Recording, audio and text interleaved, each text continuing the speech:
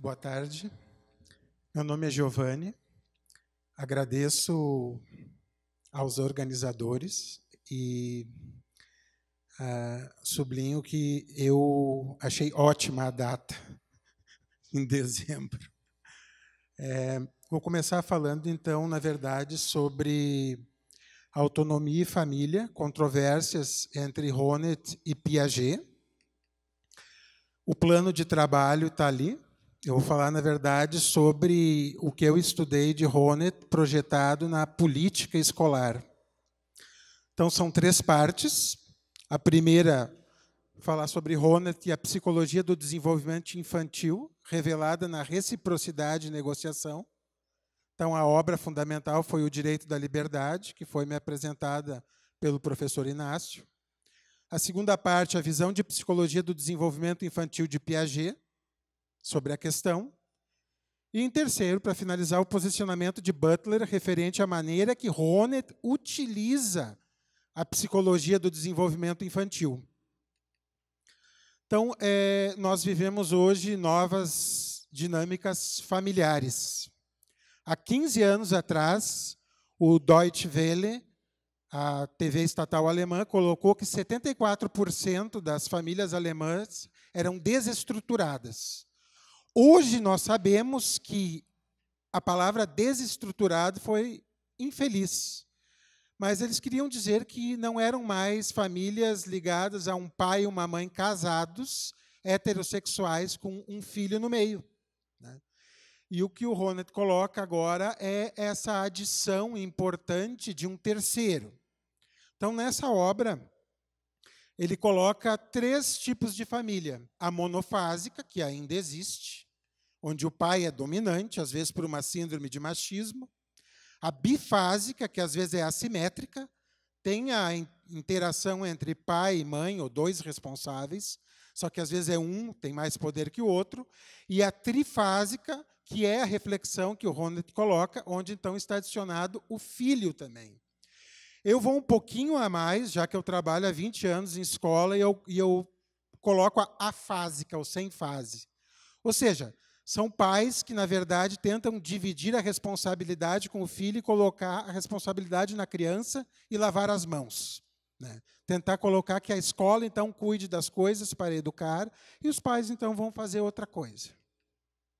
Então, o que eu vejo com essas famílias patchwork, onde às vezes o vô é o pai, o irmão mais velho é o pai, ou qualquer outro tipo de arranjo bem diferente de famílias, é que a criança ela tem um grande peso, é um nó conversor de relações.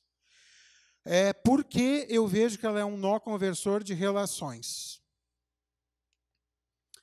Aqui aqui está a reação de afiliação da criança para os seus cuidadores, para mim é multiorbital. Eu conversei com isso com um astrônomo, ele disse que na astronomia isso não existe, de multiorbital.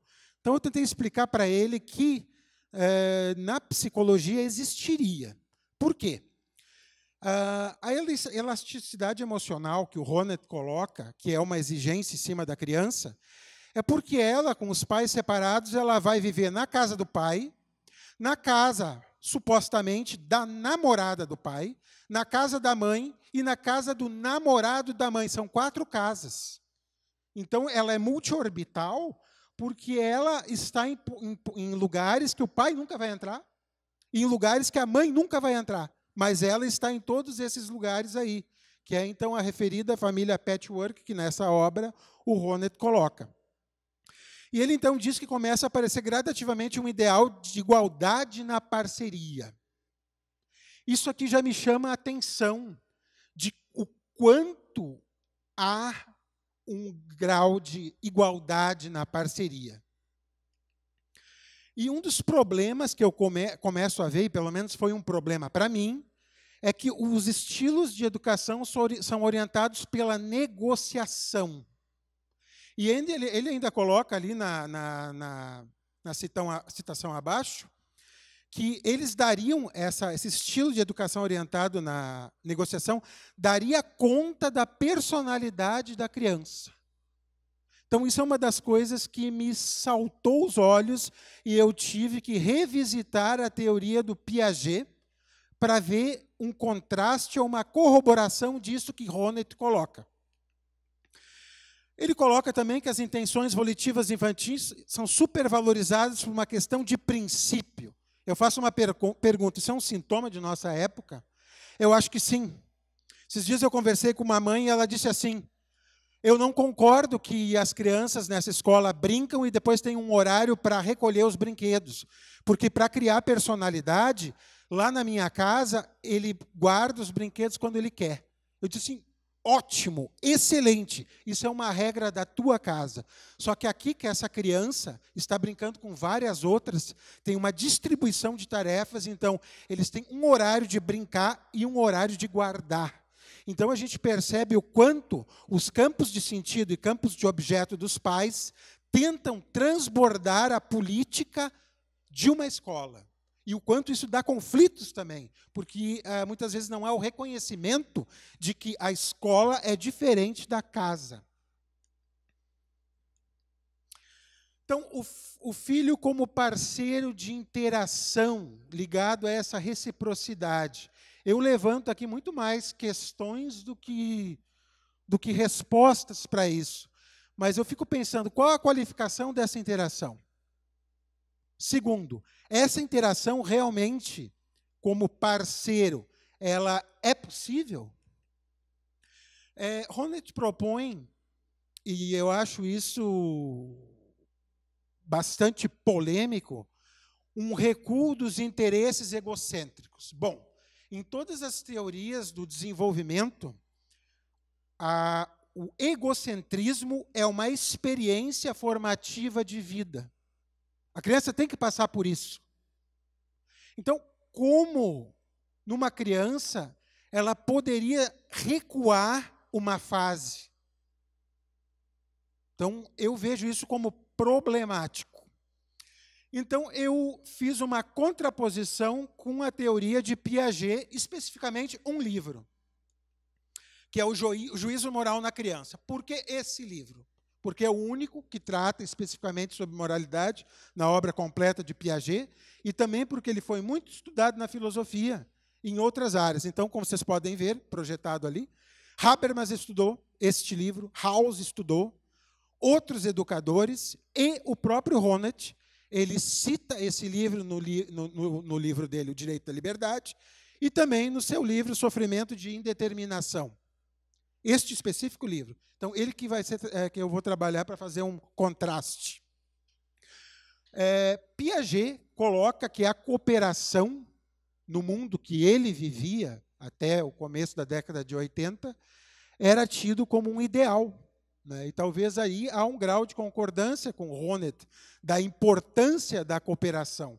Mas mais abaixo ele coloca também na mesma obra que a cooperação é uma coisa difícil entre uh, adultos e crianças, ou seus filhos. E aqui vem a grande pergunta: a autonomia representa um atributo infantil? O que, que o Piaget responde? Que a troca de pensamento não é possível entre crianças e adultos. E aqui eu me reporto um pouco a um livro de Merleau-Ponty que fala o seguinte: as crianças não têm vestígios de introversão. Então, uma criança não tem juízo crítico ainda, ela está desenvolvendo, isso está crescendo nela.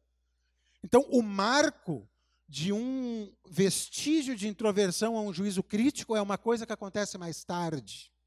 Então, a troca de pensamento ela acontece mais, par, mais tarde. Onde estaria a negociação e a reciprocidade que Honneth menciona? Então eu vejo que há um, um, enfraquecimento, através de algumas considerações de Piaget, dos atributos supracitados de reciprocidade e negociação de Honneth. Ele diz: o sentimento de obrigação só aparece quando a criança aceita imposições de pessoas pelas quais demonstra respeito. Mas o respeito ele também tem a ver com a introdução de leis, das quais a criança não fez, mas a privacidade da casa às vezes faz, né? Hoje nós vemos que muitos pais estão destituídos de superego, né? Eles fazem as coisas do jeito que eles querem, parece que não tem muita regra, e a criança vem assim para a escola.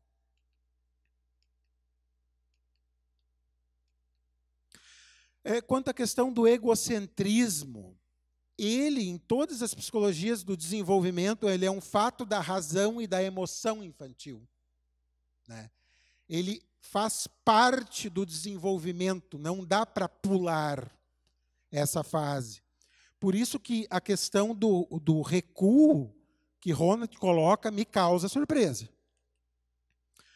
Quanto então a, a essa troca durável né, de pensamentos, ou reciprocidade, ou de conteúdos que são negociados. Para Piaget é impossível. Entre pais e crianças. De negociar, de reciprocidade. Para Piaget, uh, não é durável, é impossível. Isso duraria um momento ou um instante. Então, há muitas controvérsias. Eu vejo que Ronet, contrastando com Piaget, dá uma grande agenda de trabalho. Uma grande agenda de trabalho. Então, é, Piaget também coloca que não há reciprocidade regulada na perspectiva infantil.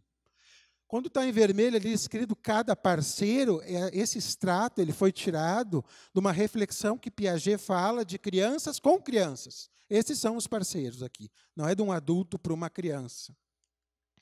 Então, quando a autonomia infantil eclode, segundo Piaget, é, ele desenvolveu, então, quatro estágios de desenvolvimento: o sensório-motor, que vai até os dois anos, o pré-operacional, que vai até os sete, o operacional concreto, que vai até os onze, e o operacional formal, que começa nos onze. Então, a, a autonomia infantil ela eclode em Piaget a partir dos 11, e daí é uma construção. Lembrando que existe um estudo feito nos Estados Unidos que concluiu que 50% da, dos cidadãos americanos não completam ou não chegaram no quarto estágio do desenvolvimento. Nem chegaram no quarto. 50%. Esse tipo de estudo não existe no Brasil para nós sabermos qual seria o percentual. Outra pergunta, porque ele fala de personalidade, que a reciprocidade ajudaria na personalidade.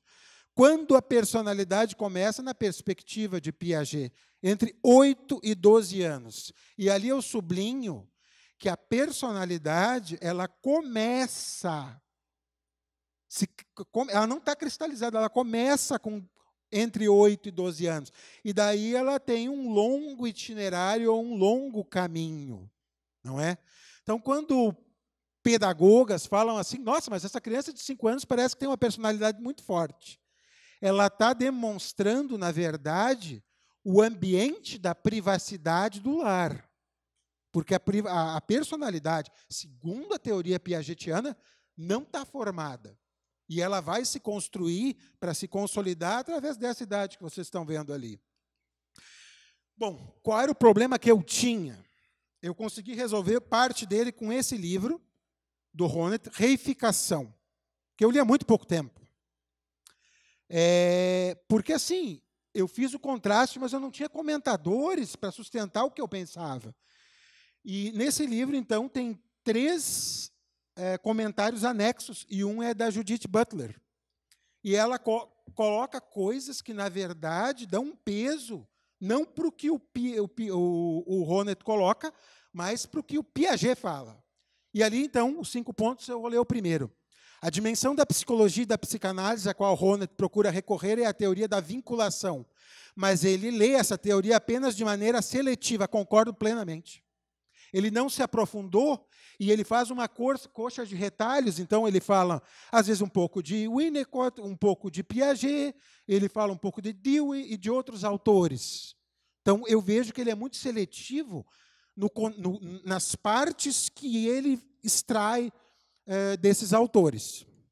Dois, a psicologia do desenvolvimento é um campo amplo e controverso e seria preciso decidir entre metodologias concorrentes e justificar a escolha de uma metodologia em detrimento de outra. Concordo plenamente. Né? Ele não se aprofundou, ao meu ver, em uma teoria uh, uh, da, da psicologia do desenvolvimento infantil em detrimento de outras. Aqui eu só faço um adendo, porque a, a, Butler diz que o campo é controverso. Há três operadores modais em todas as psicologias do desenvolvimento, que são as investigações normativas, idade cronológica e idade evolutiva. Esses três operadores modais, eles são um vazio teórico ou uma lacuna eh, na construção teórica de Honneth. Eu vejo assim. Aqui só tem uma definição, então. As investigações normativas relacionam-se com descrições daquilo que é característico de uma determinada idade. O Honneth não coloca isso. Nesse livro, só que ele coloca algumas coisas que uma criança poderia fazer com nove meses. Já a idade cronológica refere-se aos meses e anos de uma pessoa. Por fim, a idade evolutiva liga-se à idade cronológica, na qual a maioria das crianças manifesta comportamentos e um desenvolvimento físico reunidos em um nível, estágio ou fase da vida. Eu não consegui ver que Honneth tenha colocado investigação normativa ou idade evolutiva para ver até que ponto a criança pode ter um grau de reciprocidade ou de negociação com os pais. Né? Isso é importante. Terceiro ponto da Butler, não parece muito correto pedir a uma criança que seja plenamente responsiva em relação à alteridade é, que seriam os pais no caso. É, segundo Piaget, não é questão de correto, não é possível. Essa é a questão. Para Piaget, não é possível. É, na psicologia do desenvolvimento, que está dentro da teoria de Erich Fromm, o Fromm coloca muito bem que a criança, a criança vê os pais como uma extensão do ego delas. E isso tem vestígios, inclusive na adolescência, quando um adolescente tenta penalizar os pais porque eles deveriam ter uma situação financeira melhor. Ela ainda não tem toda uma empatia para ver que os pais são diferentes e pais também têm problemas. Não é só ela que tem. Então, um adolescente também tem um grau de egocentrismo. Quatro, e penúltimo, a segunda pessoa como segunda pessoa. Se precisamos primeiramente nos vincular a uma segunda pessoa e, como parte dessa vinculação, nos apropriarmos da perspectiva dessa segunda pessoa, parece que temos primeiro de considerar essa segunda pessoa como uma segunda pessoa. Isso parece quase tautológico, mas é, o que a, a Butler está colocando é que não há condições de uma criança ter uma percepção arguta de que a, a uma outra pessoa é uma outra pessoa, ainda, de forma clara. E, por último, ela fala então na perda do egocentrismo. A criança tem de passar por uma perda de seu egocentrismo. Ok? Mas segundo as condições da psicologia do desenvolvimento dela. Então é impossível um recuo. E aqui então eu termino com as palavras finais ou uma breve conclusão. Há um problema de método quanto à interdisciplinaridade de Honneth quando ele tangencia a psicologia do desenvolvimento. Segundo, a heteronomia nos, nos acompanha em toda a vida. Isso é um joguete que Levinas faz, sendo voltosa até a pré-adolescência. Voltosa. Mas muitas vezes nós temos que passar pelo outro para criar uma autonomia. O egocentrismo na infância não apresenta possibilidade de recuo. A negociação não demonstra nenhum grau de cristalização no, psiqui, no psiquismo infantil. Então, tem uma, umas coisas que funcionam melhor com crianças pequenas através do, do da questão da, da lei, né? É, do, às vezes até de uma obrigatoriedade. Eu não estou dizendo que não, não deva ter uma negociação. Isso aí é uma continuidade que vai começar a fazer sentido para essa criança com o passar do tempo. É, e assim eu encerro a minha comunicação. Obrigado.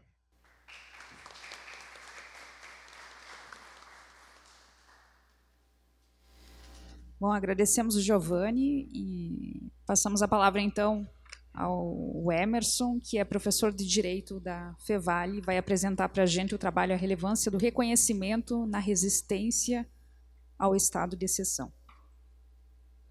Boa tarde a todos. Para mim sempre é uma, é uma felicidade voltar a essa casa, né, na qual me formei né, e licionei bastante tempo. É, ainda mais poder dialogar com, com colegas sobre um autor tão importante, né? um autor que de certa forma ele está perpassando uh, diversos debates uh, contemporâneos. Só esse ano uh, participando de, de, de, alguns outros eventos, né? Discutindo sobre Turô, né? A pergunta que veio foi sobre desobediência civil e Ronet, né? Aí discutindo, acho que semana passada, retrasada, uh, Habermas na, na PUC, né? onde eu estava discutindo fundamentalmente Gadamer e Habermas, a pergunta que veio foi sobre Ronet. Né? Então, poucos dias teve um congresso muito interessante sobre direito constitucional e filosofia política. Felizmente resolveram entender que essas coisas elas andam juntas, né? É, diversas questões que foram colocadas, né, é, envolviam na sua matriz alguns conceitos do Ronet também. Né? É, eu, particularmente, é, sou, sou, formado em Direito, né? fiz meu, meu, mestrado, meu doutorado aqui na casa em Filosofia, né? onde eu trabalhei com hermenêutica. Né? Então, a minha, tarefa foi politizar o Gadamer. Né? Então, foi uma tarefa que não foi tão, tão fácil. Mas é, sempre a questão da filosofia política teve presente no, no meu horizonte, né? nunca, nunca abandonei. E atualmente, na Fevale, desde o início do, deste segundo semestre, eu, eu instaurei e estou coordenando um grupo de pesquisa que trata fundamentalmente sobre estado de exceção e teorias da democracia, aí a partir do Gadamer, tentando fazer essa, essa, essa correlação. Né? E e ainda bem que o projeto tinha sido aprovado antes, porque acho que nesse contexto atual, numa instituição privada, talvez eu devesse mudar um pouco o título para ter mais né, chance de ter uma verba maior. Né? De qualquer sorte, né, foi aprovado e a gente está tá conduzindo essa, essa pesquisa. E aí, um dos eixos que envolve essa reflexão é a teoria crítica. Né? Então, a gente trabalha a partir da hermenêutica, né, do direito constitucional, da criminologia, e da filosofia política. Então, o Honneth entra neste processo. E entra a partir de uma preocupação uh, que a gente tem há bastante tempo, que é a questão antes de uma espécie uh, uh, de possibilidade de um estado de exceção e hoje, ao que se avizinha, uma certa materialização a partir de um outro tipo de realidade, um outro tipo de conceito, um outro tipo de, de processo de transformação. Então, a minha fala aqui é, é basicamente em torno dessas questões. Né? Eu vou fazer a leitura de, de, alguns trechos e vou estar discutindo com vocês. Acho que o debate ele, ele vai ser mais produtivo, e principalmente para mim, porque eu estou aqui muito mais para ouvir vocês né, do que propriamente é, para trazer alguma, alguma novidade. Se, se trouxer né, vai ser, vai ser ótimo para todos. Então, a relevância do reconhecimento na resistência ao estado de exceção. É uma questão que surge né, é o conceito de estado de exceção. Então, o conceito de estado de exceção é a suspensão de toda a ordem vigente, ordem jurídica vigente, identificando a própria existência do Estado com o fim de preservá-lo quando esse é ameaçado. Em outras palavras, é a suspensão do Estado de Direito através do direito. A ideia desse conceito é de que é indispensável suspender a Constituição em tempos de crise.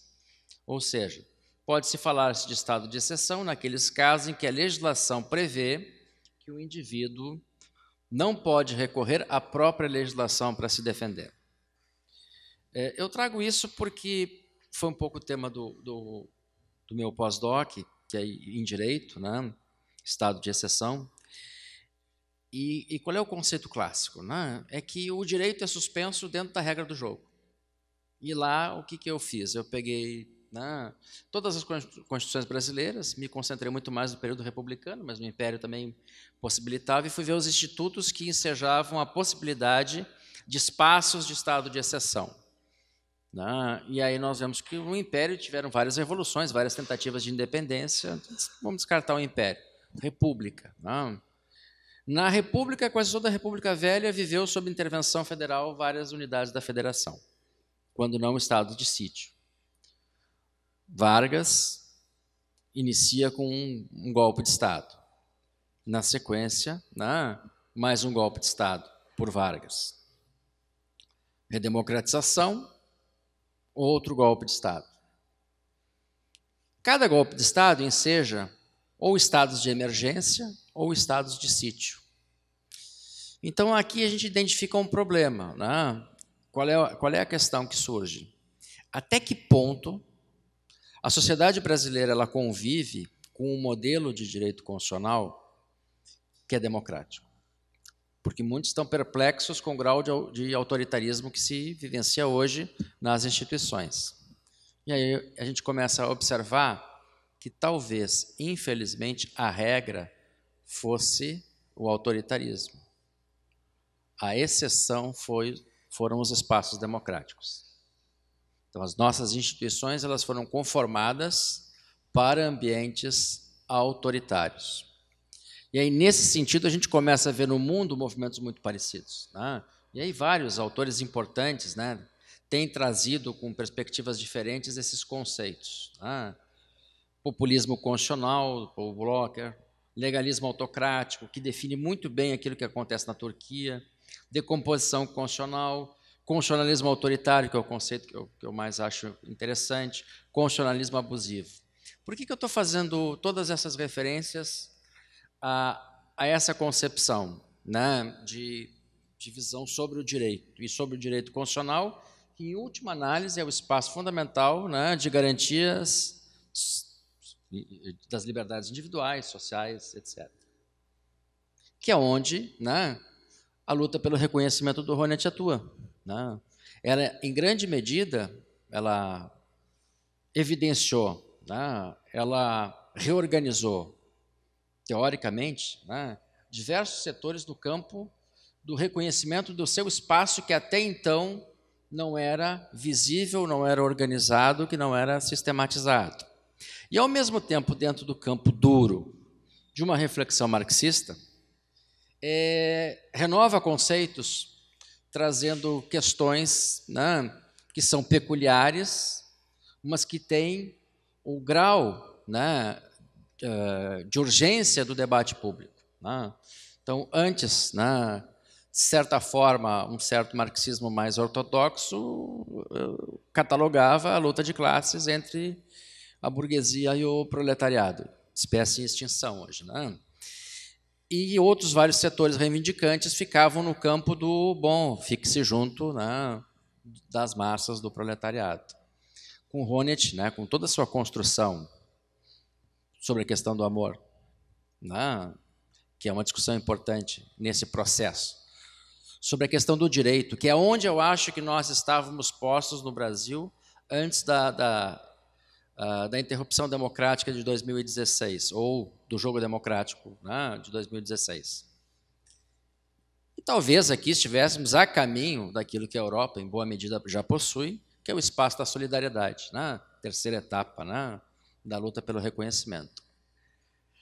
É, a situação com essa construção de um modelo de constitucionalismo mais autoritário, ele tem interrompido os espaços de construção deste modelo de solidariedade previsto por Honneth. Né? Então, isso vai nos colocar diante de novos desafios. Tanto o processo totalitário quanto no autoritário, a adoção do estado de exceção perpassa sociedades contemporâneas por meio da técnica, economia ou da política. Exige um aprofundamento do tema referente ao reconhecimento para solucionar injustiças contra grupos vulneráveis. A classificação da soberania como um conceito limite, pois não está adequado a uma situação normal, habitual, mas sim a uma situação imprevista em um caso limítrofe pois a existência do Estado mantém aparentemente aqui a supremacia incontestável da validade jurídica. Né? Esse é o problema do direito. Né? O direito ligado a um sistema dominante, meramente formal, né? a partir de uma concepção né? teórica justificada a partir do positivismo normativista, que concentra no Estado essa capacidade de produção né, do direito, o monopólio da produção do direito, que é civilizatório, mas que quando há o déficit de legitimidade das instituições, isso acaba criando um problema né, é, bastante difícil de ser contornado. Na presença de todos esses referenciais teóricos de campos diferentes de conhecimento, busca-se compreender melhor as transformações que a sociedade contemporânea brasileira tem se dirigido né, ao aprofundamento de uma espécie de constitucionalismo autoritário que tem se distanciado de uma teoria da democracia e colocado em risco né, a, o modelo de bem-estar social que nós possuímos. Dentro desse contexto, né, surge a, a, a, discussão liberal ainda, né, mais importante, sobre a própria noção de desobediência civil, né, que de certa forma é, talvez seja um passo a ser dado mais ostensivamente a partir de uma reflexão de Honneth, porque e, e aí eu me concentro muito mais no direito e liberdade, muito mais na luta pelo reconhecimento, é, talvez, talvez, né, e, e, e preparando o texto, né, sobre o que eu ia conversar com vocês e, e provocá-los para para ouvi-los, uh, talvez para países periféricos essas três palavras já não sejam suficientes. Talvez seja necessária a construção de um outro sentido, né? de um outro conceito, que dê conta, talvez, da radicalização do processo. A estima social se dá pela forma que a sociedade valora intersubjetivamente as realizações das pessoas. Essa valoração vem de um viés cultural, formando objetivos éticos comuns, sendo construídos no decorrer do tempo, sendo essas concepções variáveis historicamente. Nas sociedades pré-modernas existiam algumas condições limites nas quais se davam pela origem do indivíduo. Hoje ocorre uma grande transformação nesses conceitos, acabando por serem esquecidos os conceitos de hierarquia e honra. Hoje qualquer indivíduo pode conquistar seu valor social. Portanto, as sociedades modernas as relações de estima social estão sujeitas a uma luta permanente, na qual os grupos procuram elevar, com os meios de sua força simbólica e com a referência às finalidades gerais, o valor das capacidades associadas à sua forma de vida. Esse é um pouco o Honneth, né? Mas se a gente pensar um pouco, né, e, e, no seminário anterior, que foi sobre normatividade, eu, eu acabei apresentando um trabalho sobre a questão das guerras culturais. Né? Até que ponto né, esses espaços de construção uh, intersubjetivas que elevam né, a, a condição de autoestima de todos e de qualquer um, né, também não se constitui num espaço de construção antidemocrático vou fazer uma provocação. Né? Talvez hoje a gente tenha um homem médio ou um homem comum exercendo a presidência da República.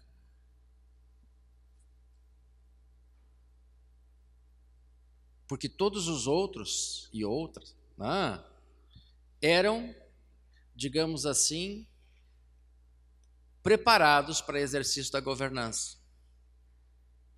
Cada uma seu estilo, cada uma a sua forma. E aí inclui os generais presidentes. Né? Não vou negar a formação que tiveram.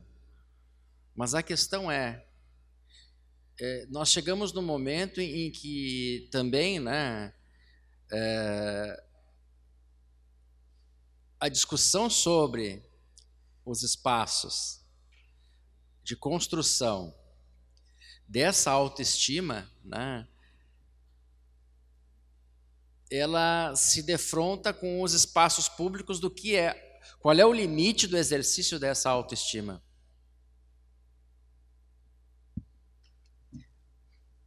Outra questão relevante destacada no, no conceito de reconhecimento é a necessidade que a identidade social seja reconhecida pelos demais, o que se dá por meio da autorrealização. A autorrealização processo em que o sujeito desenvolve capacidades e propriedades cujo valor para o meio social e ele pode se convencer com base nas relações de reconhecimento de seu parceiro e de interação. Hoje nós temos um governo de iguais no topo. Ah. É essencial destacar que o autor entende que as relações de estima estão, embora de forma indireta, relacionadas com a desigualdade e com a distribuição de renda. Por isso, temos confrontos econômicos pelo reconhecimento. A questão que envolve o reconhecimento, né, é que hoje até grupos de ódio passam a ser reconhecidos e se auto-reconhecerem.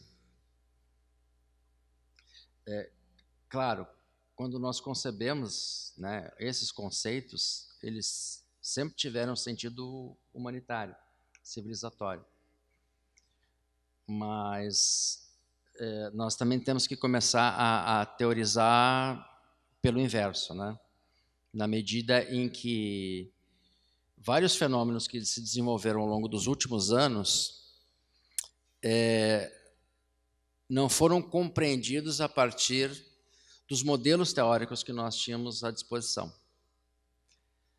Então, é necessário começar a, a pensar no sentido é, a partir da própria teoria do Honneth, né, nessa coisa da busca pela construção da justiça e pelo reconhecimento de todos dentro do seu espaço, e na luta pela conquista desses direitos, de que isso talvez possa implicar em ações contra-majoritárias, no sentido de que às vezes as maiorias não têm razão. Tá? E aí o direito tem que se colocar como um instrumento capaz de é, enfrentar esse tipo de, de nova situação que se apresenta. Eu tenho no texto, depois eu posso disponibilizar para vocês toda a discussão sobre conceitos, estado, estado de exceção, como se dá, os modelos, tá? a ampliação desse modelo, como isso tem acontecido no Poder Executivo, no Poder Judiciário. Mas, na verdade, o que eu queria mesmo era lançar algumas provocações para ver né, se eu estou né, tão errado em algumas preocupações, né? E, e, se talvez aqueles que se colocam dentro de um campo de uma reflexão mais crítica não tenham que se exigir cada vez mais nesse processo de reflexão crítica. Né? Porque o problema que nós enfrentamos não é um problema que vai é, permanecer pouco tempo. Né? Independente do tempo que os governos durem, algumas ideias elas, elas foram foram disponibilizadas né, à sociedade. E ela assimilou, compreendeu. Ah, deixa eu voltar ao início, né? porque eu fiz uma fala mais anárquica hoje. Ah, né? Aqui é anarquia epistemológica. Né? É, a gente pensava que o direito constitucional estava se constituindo num modelo de sistema de garantias. Né? Estudei e ensinei isso muito tempo. Né? Daqui a pouco eu percebo que esse sistema de garantias ele se desfaz rapidamente, porque talvez ele não tivesse se constituído de certa forma com confiança, com legitimidade, né? com profundidade na compreensão né? da nossa sociedade. Então a gente pode ter cometido um erro. Não, o nosso constitucionalismo é um constitucionalismo autoritário, a gente é que não tinha percebido antes. E se tivesse percebido antes, talvez tivesse radicalizado algumas atitudes ao longo do tempo. Eu, eu encerro por aqui, Poliana, né? porque foi exatamente isso. Eu queria uh, me abrir para o debate com os colegas. Né? Obrigado.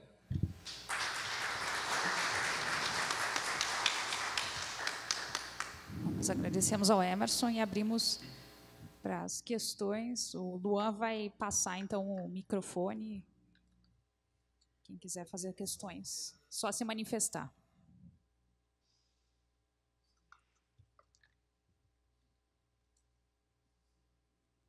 Som. Boa tarde, Giovanni e Emerson. É satisfação poder ouvir vocês e prestar atenção nas provocações que, que vocês trazem, tanto do ponto de vista é, crítico, é, que tange a, a tarefa de fazer diagnósticos né, da nossa sociedade, que, assim como o professor Inácio ressaltou e a, e a Poliana também, reenfatizou, tem uma série de patologias é, sociais que a gente é, tenta enfrentar, né, Emerson? É, eu sou Joel, sou doutorando aqui na, na filosofia, no PPG. Eu tenho uma questão para o Giovanni e uma para você, Emerson. É, de uma maneira bem sucinta, né? O, o Giovanni chamou atenção para vários elementos que condizem uh, para uma das questões fundamentais da modernidade, que é que é essa nova configuração de família, né, a própria ideia de família, né? a própria concepção de família, que na modernidade, desde o germen dela, ganha outras nuances.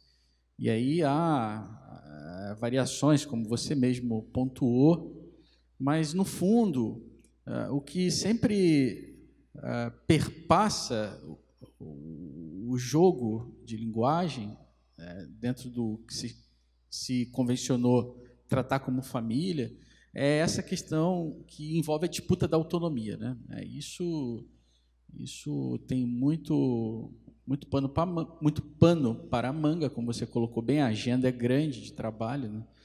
mas é, é, o, o, o ponto fundamental que me chama a atenção, de fato, é que imbricado na questão da autonomia, é, nós encontramos a, a, a, perspectiva da construção da identidade do agente humano. Né? Então, essa é uma, uma questão muito importante, porque você já vai na, na base, você fala da, da, da, da mais tenra idade, né, da infância, da espécie humana. O ponto, Giovanni, que, que eu gostaria de ouvir você falar um pouco mais, é que talvez não o tempo não permita, né? É, como é que você entende os contextos culturais que vão determinando é, alguns aspectos que são inadiáveis, ou, ou, eu poderia dizer que, que são inevitáveis de que algumas ou várias crianças assumam, porque senão elas são excluídas é, dos pequenos grupos as famílias também é, ficam excluídas dos pequenos grupos. grupos. Vou te dar só um exemplo. O modo comportamental de evangélicos hoje no Brasil. Né? Eles estão criando um mundo paralelo, porque eles não se adequam a, a determinadas posturas que dizem respeito a uma cultura dada. Né? Como é que você vê é, essa questão da cultura na formação da identidade ou, ou da personalidade infantil? Né? É, isso tem muito, muita relação tanto com Piaget quanto com Honneth. Né? Eu gostaria de ouvir um pouco mais sobre isso. É, Para o Emerson, bom, Emerson, eu não vou fazer digressões aqui sobre a questão do estado de exceção, você já disse que tem o texto, né? mas eu sempre lembro do Agamben, quando ele, ele chama atenção para o estado de exceção, que ele diz que é a regra. Né? Ele diz que é a regra. E, e a dúvida que eu tenho, eu, que, eu quero também ouvir você sobre isso. Por exemplo, recentemente eu estava lendo, estou lendo um texto do Francis Fukuyama, que é as origens da ordem política. Né? E lá, nesse, são dois volumes, no, no, primeiro volume. No primeiro volume, ele, ele diz que o, o, o que vai uh, eliminar, vai enfraquecer o autoritarismo são as instituições. São as instituições do campo democrático que agem de uma forma política.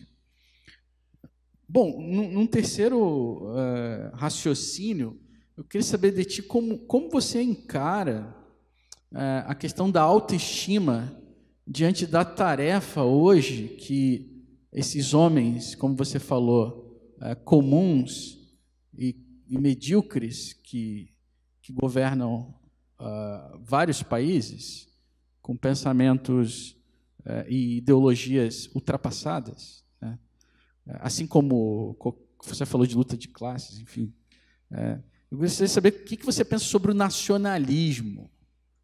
Como é que você percebe a utilização dessas pessoas do conceito de fortalecimento dos nacionalismos? Que, em, certa medida, justificam e vêm justificar muitas exceções, né? É, mesmo países que supostamente são mais estáveis, por exemplo, como a Rússia, o discurso lá é nacionalista. Né? Até para deixar o Putin, não sei quantos, desde que a União Soviética, quase ele está no poder, né? mas a justificativa é, é, é a questão do nacionalismo. Gostaria de saber um pouco o que você pensa sobre isso. Obrigado. É, não, não sei se eu vou conseguir te responder mas eu vejo que a cultura ela projeta bastante saúde e patologia nas crianças e nas relações que as crianças vão estabelecer com outras crianças. Então, um exemplo negativo que eu dou disso é de meninos no intervalo escolar que estabelecem vínculos com meninas através de humilhações e da exigência de deferência das meninas para com eles. Né? E, ao meu ver, se um problema assim surge, muitas vezes é porque tem alguma coisa que não está andando bem em casa. E a casa, essa, esse lar, ele é um reflexo é, cultural. Então, a questão da, da vinculação que uma, um menino, por exemplo, faz com uma menina, às vezes já reflete a saúde ou a doença, vamos dizer assim, que já estão instaladas culturalmente na casa daquela, daquela criança. Existe uma psicóloga do desenvolvimento fantástica, morreu ano passado com 101 anos não existe nada em português e uma obra antiga só em espanhol, ela não é traduzida. A Eleanor Macobe. E ela trabalha bastante a questão da cultura e onde ela mais consegue ver isso são em atividades não estruturadas ou semi-estruturadas, que são os intervalos. Então é uma, uni, uma das únicas psicólogas do desenvolvimento que uh, fez uma análise do recreio, né? do intervalo. Então, uma das coisas que ela conseguiu ver é que as crianças, isso parece impactante, elas, na questão do gênero, dos 3 aos 8 anos, elas são segregacionistas. Elas se juntam entre díadas e tríades, entre meninos que brincam junto e meninas. Depois que eu li isso, nós temos na instituição, no Instituto Ivoti, funcionárias que só trabalham cuidando do intervalo. Elas são responsáveis pelo recreio. Então eu pedi para elas fizerem uma, fizer, fazerem uma descrição disso para mim e, pelo menos na nossa realidade contextual, bateu bem com o que a Macobe disse. Mas eu vejo que a, a questão da cultura, ela é uma, uma às vezes, uma harmonia invisível ou um conflito, muitas vezes, não tão visível, que perpassa a criança. Não importa se a criança ela não tem vestígios de introversão, como diz Merleau-Ponty. Ela vive um ambiente que pode ser até um ambiente impossível em casa, e ela, através do chamado comportamento vicário, ela replica o que ela vive em outros ambientes. Comportamento vicário é o que o, o psicólogo Albert Bandura uh, teorizou, né? que a criança ela observa coisas e aquilo, de uma forma senciente, não no juízo crítico, mas senciente, ela absorve e ela replica, né? como agressividade, etc. É, muito obrigado, João, pela pergunta. É, é, uma pergunta extremamente difícil, assim. É, é, boa parte da literatura que a gente gosta concorda com Fukuyama nesse sentido. Né? Quanto mais forte forem as instituições, mais democrático será o Estado. Né? É, claro, até que ponto tu tens que manter espaços de exercício de soberania popular de forma direta, é, talvez seja a questão a ser, a ser, a ser concebida uh, nesse processo. Né? A Habermas andou bem nesse sentido, né? com a questão da, da, da questão da política deliberativa. Então, quanto mais sólida forem as instituições, menos fragilidade democrática os estados têm. E é nesse sentido que, que a gente vê com uma certa regularidade na Itália, na Alemanha, políticos serem afastados a partir de declarações que, que dão, né? porque não, não, não representam nem o próprio governo nem a própria sociedade. É, talvez o nosso problema é que, é que nós não temos as instituições é, é, tão, tão estáveis como como pensávamos que tínhamos. Acho que, é, acho que essa é a primeira questão, e aí a gente pode pegar um exemplo específico. Né? É, acaba a contribuição sindical compulsória, boa parte do movimento sindical hoje no Brasil ele está blocauteado. Então se constitui uma política em torno de um certo paternalismo que a própria classe trabalhadora acabou né, apostando nesse viés. Então, assim, a instituição ela não estava sólida o suficiente. Então, acho que, acho que essas questões a gente tem que se debruçar, porque não, não, não pode abdicar da construção desses espaços. Né? Eu, eu, disse para vários amigos meus, né, depois do resultado das eleições, eu digo, olha, a questão é fazer parte do maior número de organização possível. Porque a era do, do cidadão, indivíduo, isolado, atomizado, acabou. Né? Dentro de um espaço autoritário, é, a organização é fundamental. Né? É a primeira forma de se, de se ter uma voz ouvida de fato né? e uma certa segurança nas suas relações. É, nesse sentido, é, a questão da autoestima ela ela está muito ligada à própria concepção de, de consciência, né? Então, acho que são as velhas tarefas que a gente tem que continuar insistindo na, na formação de uma consciência de classe ou de uma consciência né, uh, uh, social no sentido de, de, de, as pessoas começarem a se compreender melhor. E aí o Rony tem uma contribuição fundamental nesse processo. Né? É, que começa pelo amor, literalmente. Acho que essa é, a questão da intersubjetividade, o espaço que, que, que, ele identifica nisso, como estratégia de, de reconstrução do ser e, e, deste ser em sociedade, ela é fundamental. Né? Ela é é, é, inadiável. Só que essa, essa consciência ela vai acabar implicando na autoestima. É, é visto de professor, né, e, e, e, daqueles que, que às vezes se tornam um pouco agressivo quanto estratégia. Eu sempre gostei muito dos modernistas, acho que tem que chocar mesmo e, e depois vamos ver o que acontece. Né? São Paulo, nesse congresso, eu peguei nove Ubers, nove Ubers, nove Ubers, uma mulher, só, nenhum negro. E o único que, e o único que falou muito mal de nordestinos, refugiados, e não, era o que tinha certamente a menor escolaridade. E por que, que eu sei disso? Né? Primeiro, porque ele falou mal a viagem toda.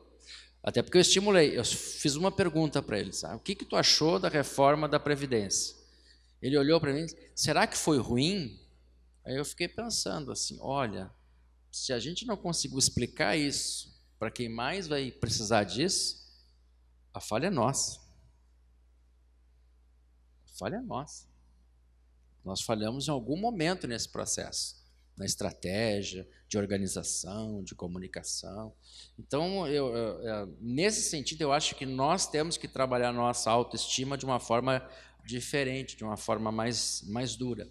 E, e, e para não me alongar, a questão do nacionalismo, ela sempre foi um, um problema uh, da própria conformação dos estados nacionais, é, é a construção pelo outro, né? pelo outro, pelo inimigo do outro, pela diferença. Pela...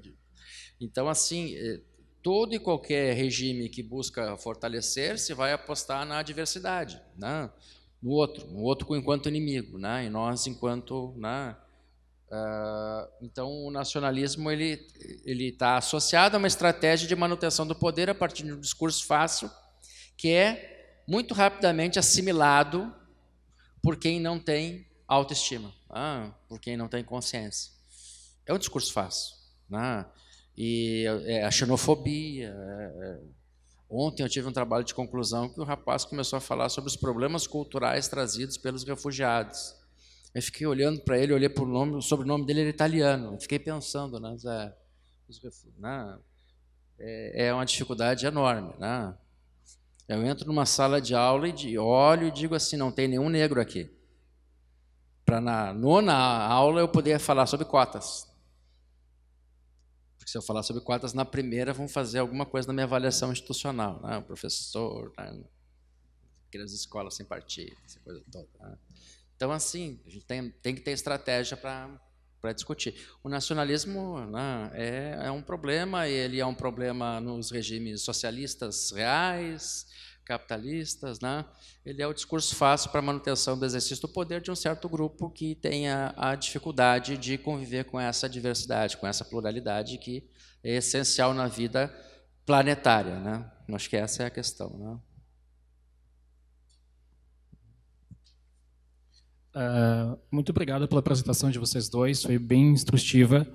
Uh, eu tinha duas perguntas, mas eu vou tentar fazer uma só para você, Emerson. Uh, porque eu não sei se eu entendi bem a colocação, tu, eu vou cair na tua provocação, aquela que falou sobre autoestima.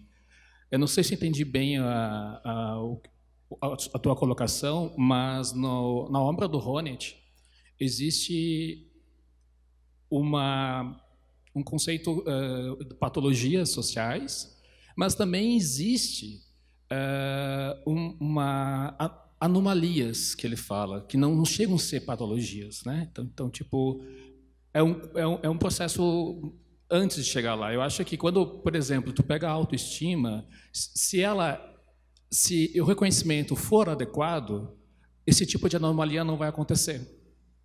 A autoestima é quando ocorre um reconhecimento verdadeiro uh, e meio que por causa disso a fala tua parece que está destoando um pouco da teoria do Honneth nesse sentido.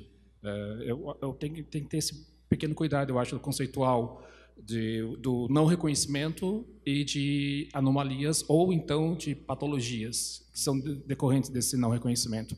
Tem um, detalhezinho, ao meu ver, é uma interpretação que eu faço desse texto. E Giovanni, eu disse que ia fazer uma pergunta, mas eu tô, uh, tô meio que defensor do Ronit agora. Acho importante também na obra do Ronit, quando ele, ele faz essas pinceladas no direito, ele mergulha uh, na psicologia social, ele sofre, uh, ele sofre muitas críticas por causa desse tipo de recorte que ele faz. E uma das suas respostas recorrente em vários outros textos e comunicações que ele fala é que, olha, eu estou fazendo uma reconstrução é um método. Eu não estou reconstruindo a história, não é esse o meu papel. Então, tu criticaste ele por ele pegar só um pedaço da obra do Piaget e não desenvolver, e não, não entrar nos detalhes. Eu acho que eu, eu faz parte do processo teórico do próprio Ronge, da construção da obra dele. Só estou tentando defender alguém que, é, é, que eu estou estudando bastante tempo. Obrigado pelos dois e desculpa pelas perguntas. Imagina. É, eu, eu vou só, só eu começo essa. É, eu concordo contigo, tá? É, não é que eu tenha, uh, eu, eu, fiz a provocação porque eu inverti o raciocínio. É, tem um livro, esqueci o autor, eu vou, depois eu pesquiso aqui que o autor está maravilhoso. Submissão, uh, Claire. Michel, Michel Nebeck, submissão, né? E aí, se a gente parar para pensar no conceito do Ronit, dá para inverter, né? Porque daqui a pouco a anomalia é eu achar que mulher pode usar qualquer cor, porque menina tem que usar rosa. O, o processo hoje, o processo de política pública de Estado, é, é de princesamento. E a política de Estado. Então, assim, é, o fato de, de, de, nós termos razão não significa que ela seja prevalecente. Então, esse livro Submissão, ele é maravilhosamente assustador. Tá? Então, eu concordo contigo, mas a, a, provocação é exatamente essa. É no sentido de que daqui a pouco, né, uh, o povo unido erra. Né? Aquele conselho, o povo unido jamais será vencido, o povo unido erra né? também. Né? Então, a gente tem que eh, tem que discutir isso, tem que apresentar sim como uma anomalia, né? mas até a, a, proposição dessa expressão como anomalia soa estranha quando nós estamos fora do aparelho de Estado né? e nos contrapomos às políticas públicas que né, indicam no sentido de que essa coisa né, de ficar discutindo raça é só divide o país, por exemplo. Né? Aqui, quando, quando eu cheguei, só tinha uma mulher, né? Mas eu pego as minhas redes sociais e eu tenho uma visão distorcida disso. Graças a Deus, né? Boa parte das minhas amigas são ativistas, né? Então, estão, sempre, sempre se apresentando. A questão é que em determinados espaços a gente ainda vive a luta pelo reconhecimento no seu sentido mais mais simples, né? mais bruto. Né? Por isso dá, importância. Eu concordo contigo, é uma anomalia. E eu só insisto que a gente tem que, que convencer os outros de que isso é uma anomalia, né? que não estava dado. Só, só. Aí a, a, minha provocação, né? Talvez aí seja um pouquinho do Ronet ter essa influência forte do Hegel, que o Hegel é um cara complicado, né? O professor Inácio já, já pulou. Na questão da, da, da história enquanto resultado definido, né? O progresso, o progresso inadiável da história. Né? É, espero que seja, né? mas não é. A princípio, não é. É justo. Eu igual sustento a, a crítica e vejo que a questão do reconhecimento no desenvolvimento do, do pensamento do Honneth ligado à psicologia do desenvolvimento é, gera ou geraria uma nova teoria e que o conceito de reconhecimento, assim como ele coloca, não é um conceito que foi, está sendo desenvolvido na psicologia do desenvolvimento, nas psicologias clássicas do desenvolvimento. Né? Tem outras palavras, outros enfoques, mas não é, dessa forma. Nesse sentido, as coisas que ele escreve elas são originais, né? apesar da, das várias críticas que ele que são direcionadas a ele, e eu penso com muita coragem, né? Porque um livro como esse, onde ele inclui três autores que criticam o que, que ele pensa, isso, isso é inadmissível uh, para outros autores. Eles, não, eles nem deixam. Né? Então, isso eu acho que é um mérito. Ele acaba dialogando com as pessoas de uma forma muito mais aberta. Eu acho que isso faz ele ter uma certa evolução do pensamento que outras pessoas não têm. Elas não se abrem a isso, né? Então, isso eu achei notável. Então, quando eu comprei esse livro, é, aqui pequenininho, falando dos comentadores, eu não vi. Eu só fiz depois e nem acreditei.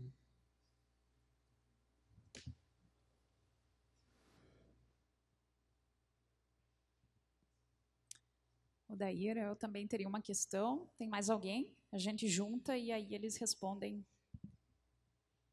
de uma só vez.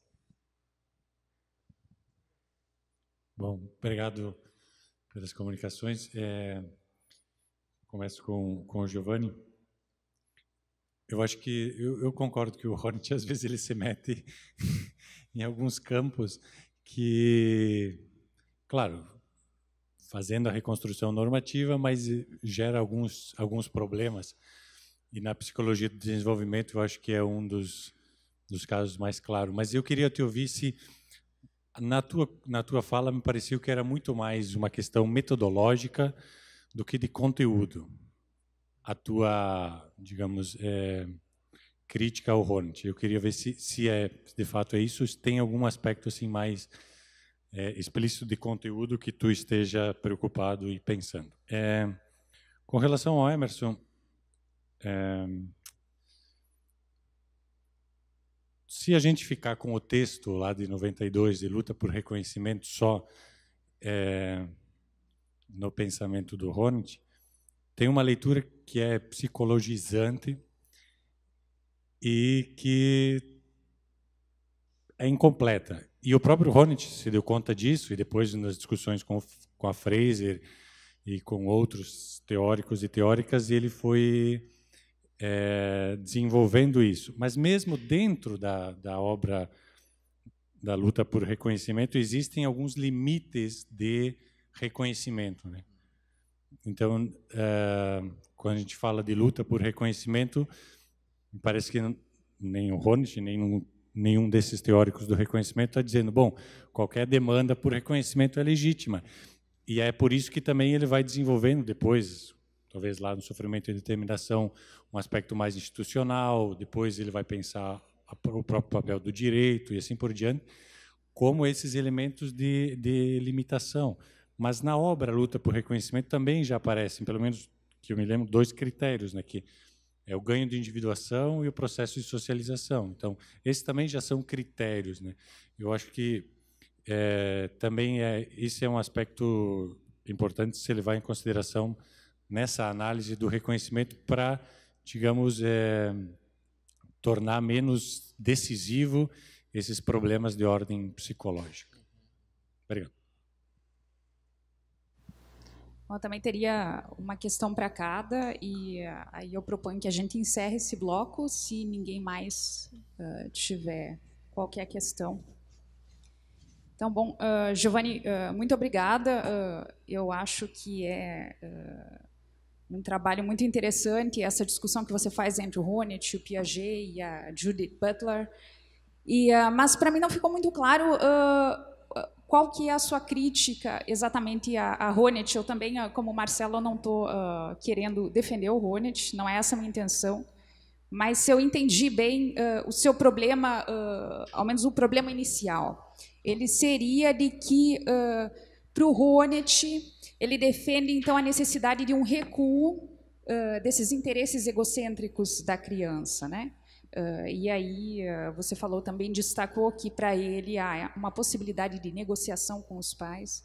Mas, se eu entendi bem, o que te incomodava na apresentação inicial que você fez foi de que o problema seria a própria possibilidade desse recuo. Eu não sei se você coloca isso em questão, de que a criança, como ela ainda está em uh, processo de formação uh, da individualidade, que ela precisaria desse egocentrismo para formar a sua própria individualidade. Mas, ao mesmo tempo, isso que me deixou um pouco confusa, você fala da necessidade do respeito às regras, né, as regras da família, as regras que são formadas ou ditadas pela escola por diferentes ambientes e contextos nos quais a criança participa. Então, a obediência a essas regras não requer justamente uh, essa aprendizagem né, de se ter um recuo uh, desses interesses egocêntricos. Para mim, não ficou muito claro, então. Você está uh, criticando que haveria a possibilidade do recuo, mas será que realmente esse recuo não é uh, fundamental no processo de formação da criança. Eu acho, porém, que uh, o, o Honneth ele não recusa né, que haveria esse desenvolvimento de um egocentrismo. Uh, faz muito tempo que eu li a luta por reconhecimento, mas ele fala lá, justamente, ele se utiliza de um psicólogo, né, do Mead, e ele vai mostrar, então, como é que é esse processo de desenvolvimento da, da individualidade uh, da criança, especificamente. Então, pode ser muito interessante para uh, para a sua pesquisa. Uh, então, era essa uh, a questão ao Giovanni. Ao Emerson, uh, só para fazer uma pro provocação, né, tomando a liberdade de utilizar, a gente falou de autoestima, que é um conceito importante para o Honneth, e tirar um pouco do contexto, eu acho que às vezes a gente sofre um pouco de um complexo de inferioridade em relação à Europa, né, e às instituições sólidas da Europa. Bom, você fez essa historicização das instituições brasileiras, né, mostrando que, afinal de contas, parece que a gente uh, viveu mais tempo em uma espécie de estado de exceção do que uh, no estado de direito. Uh, eu acho que não precisa ir muito longe na história da Europa para ver que as, o, o, próprio estado de direito é uma coisa bem recente, né? então Acho que o Honneth também, se a gente for analisar o que ele analisa, uh, o que ele apresenta no direito da liberdade, uh, ele nos ajuda contra esse complexo de inferioridade, porque ele não vai analisar uh, países como o Brasil, né? ele é também acusado por muitos como um eurocentrista, Uh, mas enfim, ele vai se defender dizendo que uh, o que ele está, uh, a realidade que ele está analisando é a realidade que ele conhece e ele analisa principalmente as instituições europeias. Mas ele vai mostrar como, mesmo no Estado de Direito, então realmente há essa, essas anomalias né, para ele, principalmente a partir do desmantelamento de um Estado providência de um estado de bem-estar social uh, e do avanço uh, das, uh, das reformas neoliberais, né? Então, ele vai mostrar que uh, a própria Europa e as próprias instituições europeias elas parecem que estão ameaçadas, né? e que há uma, uh, uma estreiteza, uma aproximação incômoda entre uh, as instituições políticas de um lado e o mercado de outro. Né? Parece que, às vezes, a, a política ela fica refém da economia. Mas a minha pergunta uh, para você uh, se refere principalmente a, a, um jurista, um professor de direito da USP, o Alisson Mascaro. Ele veio aqui na Unicinos não faz muito tempo para divulgar o livro dele, Crise e Golpe. E ele é um, um professor que parte de bases marxianas, e a tese que ele vai defender é justamente que mesmo no Estado de Direito, uh, o capitalismo, ele, uh, aliás, o capitalismo ele precisa do Estado de Direito, né? Está estreitamente vinculado. E a gente poderia discutir essa relação, mas ele está estreitamente vinculado ao Estado de Direito, ao próprio Estado de Direito, né? As próprias, os próprios direitos, igualdade, liberdade, principalmente esses princípios da modernidade que permitem então com que esse uh, que o capitalismo se desenvolva e que uh, surjam todas as contradições, né, que uh, provocam então essas anomalias dos quais o, o Roniston fala. Então gostaria só de saber um pouco o que, que, você acha se o direito ele teria uma autonomia que aparece, parece que é o que você que você defende, né? Então bastam instituições políticas, bastam instituições né, eh, mecanismos uh, também uh, jurídicos fortes para que nós tenhamos democracia e, enfim, gostaria de te ouvir um pouquinho a respeito disso. Obrigada.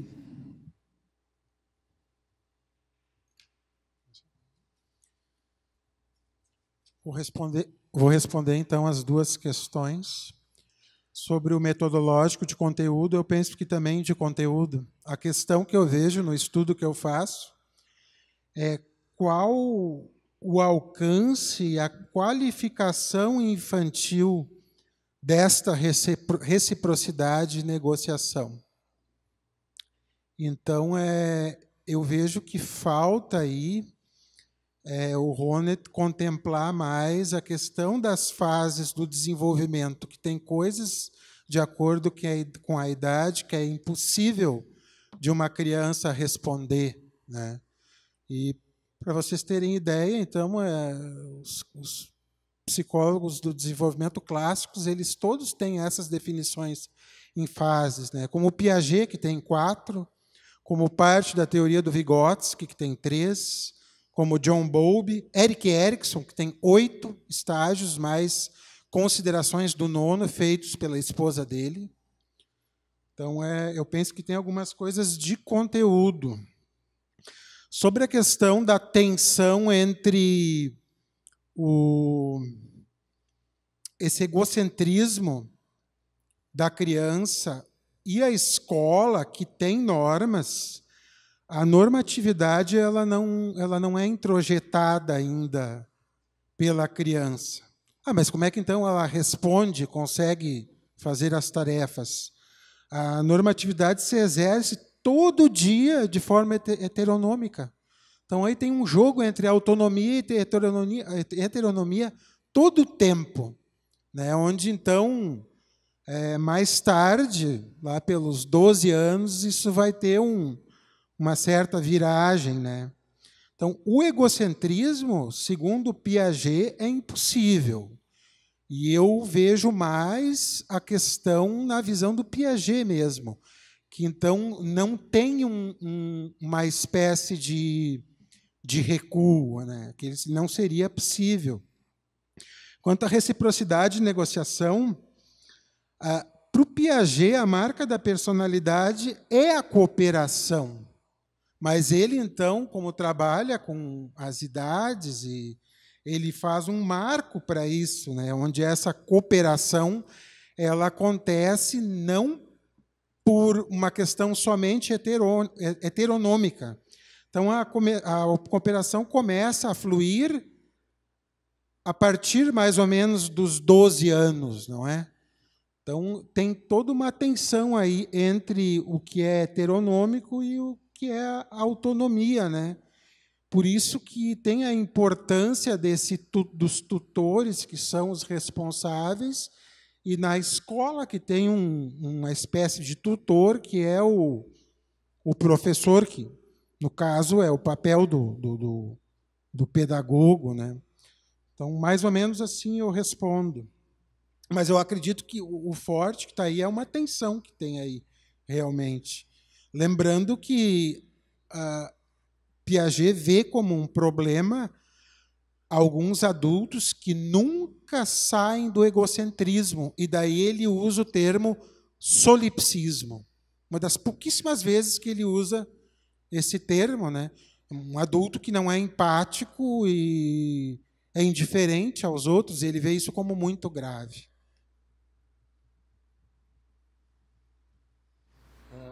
vez, obrigado pelas perguntas. Uh, assim, ah, e professor tinha, tinha comentado, é, eu, eu me concentrei muito na primeira parte do texto, assim, é, uma segunda parte eu, eu, trabalhava mais a questão que envolvia o estado de exceção, resistência e, e, e democracia.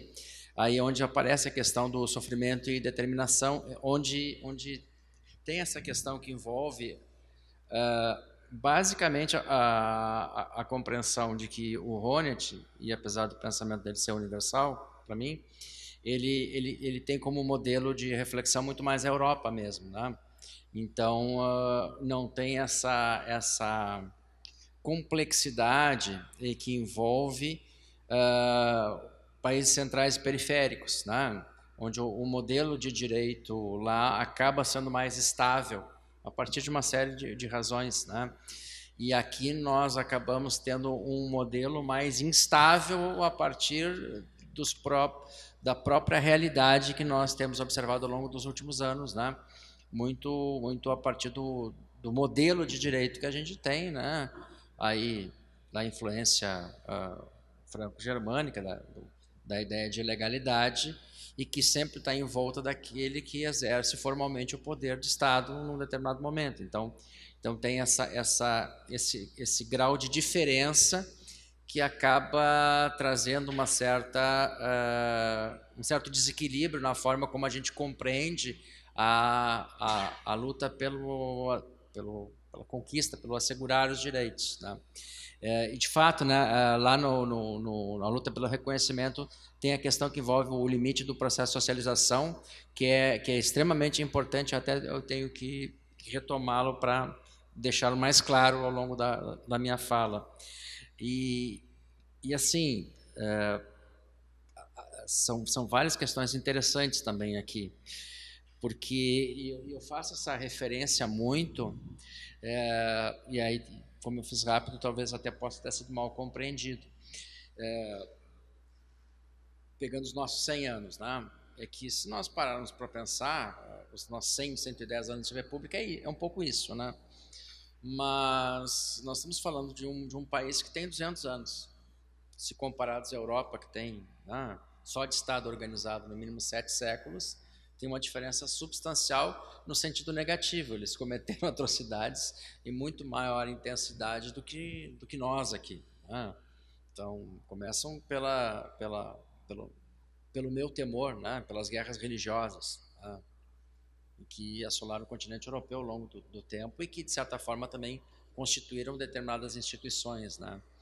Então, uh, a, Europa ela tem, tem suas debilidades, né? Uh, e construiu seu seu processo uh, de, de, construção de um Estado, que inclusive é, é, em, é, em, conflito, porque o episódio que, que envolve o Brexit é, é bem sintomático disso. Né? É, no nosso caso aqui, como a nossa história é mais recente, as nossas instituições são mais recentes. Né? E aí também decorre de, de várias questões que, que dão conta um pouco da pergunta que talvez a gente tenha que responder, que eu tenha que responder, que é, se eu estou dizendo, e eu estou dizendo, que o nosso constitucionalismo é autoritário, eu preciso saber por que, que o nosso constitucionalismo é autoritário. Quer dizer, quais são as raízes desse problema, né? Nesse congresso eu, eu ouvi um, uma explicação que me, me, me, chamou a atenção. Um colega disse, né, e estou trocando textos com ele, que uma das razões, ele afirmou, está publicado, né, é a escravidão. Né? Então, a escravidão é uma das razões que, de certa forma, por ela, por ela ter existido e não ter sido bem resolvida, que indica esse grau de autoritarismo na sociedade brasileira até hoje. Né? Devem existir outros fatores, mas é importante que a gente vá, vá buscá-los. Né? Pode ser a, a formação do, do, positivismo filosófico, né? também, na formação do Brasil República, né? uh, etc. Pode, podem ser muitas coisas, né? Mas ele fez uma pesquisa interessante e aponta né, esse elemento como um elemento importante no Império e, e, na, na, e ali no início da República Velha. Né? Tem vários autores brasileiros assim de extrema qualidade que estão discutindo essa questão do, do, do constitucionalismo autoritário, como Serrano, né? uh, como Pedro Serrano, entre outros. Tem um, tem um historiador, o Gaspareto, em, em, em Minas Gerais. E, inclusive, é, é um desafio da gente tentar escrever um texto né, só citando autores brasileiros. Né? Porque a gente tem muita gente de extrema qualidade aqui que não tem espaço, digamos assim, né, no, no, nas citações do, do Lattes. Né? Então, tem muita gente de qualidade que a gente tem que começar a buscar. Uh, e sobre a questão do estado de exceção, uh, crise e golpe, né, enquanto, enquanto naturalidade, né, é só a gente lembrar das contradições de fato que nós vivemos. Né? Tem um autor no Rio chamado Valim, que ele trabalhou a questão das Olimpíadas. Ele disse as Olimpíadas enquanto estado de exceção. Né? Para ter Olimpíada, tiveram, tiveram restrições de direitos em muitos lugares, tiveram pessoas que tiveram que ser removidas, né? Ah, durante a Copa do Mundo, né? vários, vários aeroportos tiveram que ser aumentados, então pessoas que eram lindeiras tiveram que ser removidas, relocadas, então o estado de exceção desapropriou de quem tinha propriedade, né? teve que fazer um outro tipo de processo para quem tinha posse, né? então o Estado agiu. Né? Ou um exemplo mais simples, né? ninguém pode beber bebida alcoólica em estádio de futebol, menos se a FIFA exigir na Copa do Mundo. Né? Então aí é pior, porque tu tem uma instituição de natureza privada que exige que o Estado né, flexibilize sua soberania né, numa norma de natureza, inclusive penal, para que se possa consumir né, uma substância que em todos os outros dias do ano que não tiver jogos da Copa do Mundo né, é nefasto à saúde da população. É, um dos eixos de reflexão da gente agora é, é a questão que envolve fundamentalmente o judiciário hoje como um espaço de estado de exceção. Né? Quando nós começamos a ver procedimentos que funcionam para uns e não funcionam para outros, e eles se tornam espetaculares, isso evidencia um problema. Ah, que, né, pelo menos quem atua no direito acaba sabendo, infelizmente mais cedo, né, que a lei não é igual para todos. Né? Deveria ser. Então, essa construção dos espaços de exceção, eles se manifestam. Né? Uh, se manifestavam antes, continuam se manifestando. Né?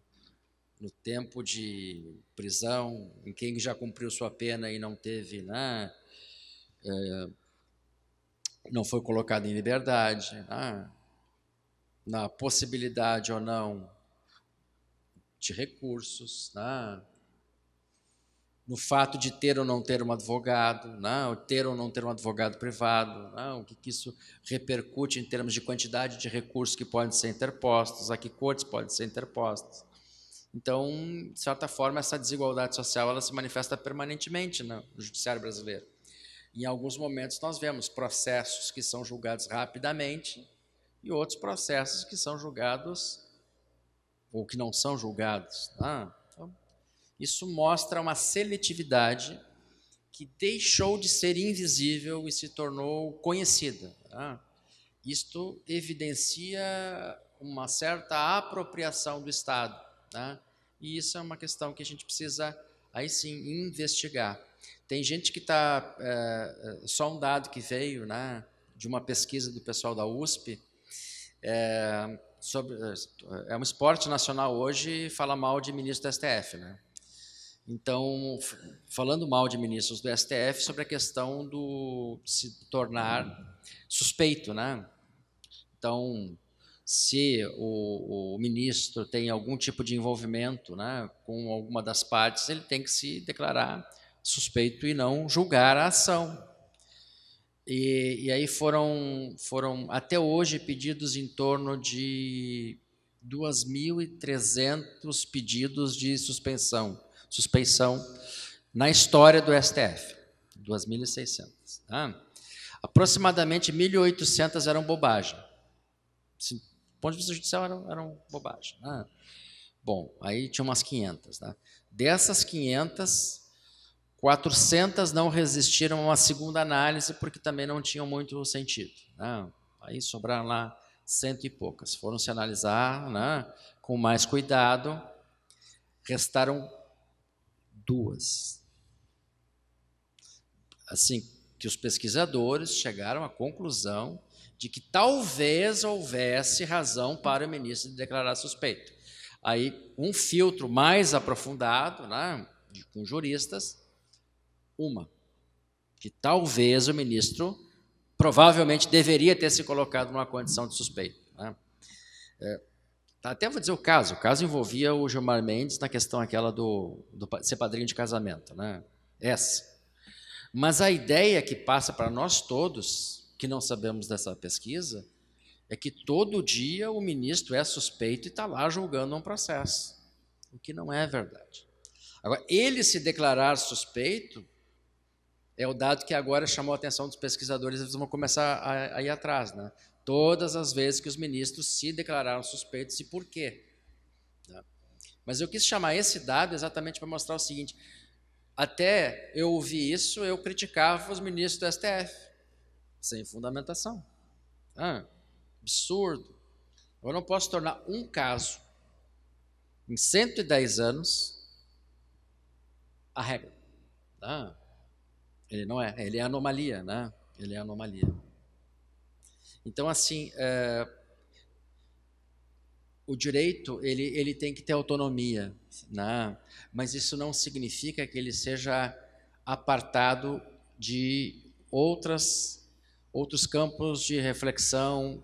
E aí, bom, aí existe toda a discussão do ponto de vista da teoria do direito para ver quais são os modelos que melhor atendem isso. Né? Dworkin, por exemplo, ele diz que o direito faz parte da moral. Né? é um autor interessante. Eu, às vezes, gosto muito de Dworkin. Às vezes, nem tanto, mas, em geral, gosto muito de Dworkin. Mas, eh, dentro da própria perspectiva do positivismo normativista de Kelsen, né, tu tem saídas para compreender um espaço que uma moralidade né, pode ocupar no processo decisório. Mas, de qualquer forma, isso vão exigir critérios epistêmicos muito claros, que é o que a gente tem que passar a exigir, né? esses critérios e a explicitação desses critérios nas razões de decidir. Né? Com a sentença não pode ser corta, recorte, cole e copie. Apesar de haver um sistema hoje, uma inteligência artificial, que produz as, as sentenças dos juízes de primeiro e segundo grau. Tá? Eu esqueci o nome do, do, do programa, mas dá um rascunho da decisão. Teve uma experiência dessa nos Estados Unidos, na Califórnia, né? A, a Califórnia.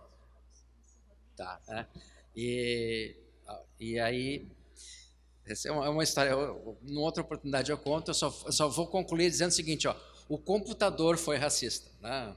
porque ele foi alimentado com tantos dados parcializados que ele julgava né, de uma determinada forma, porque ele sempre foi alimentado daquele jeito. Então, muito obrigado, pessoal.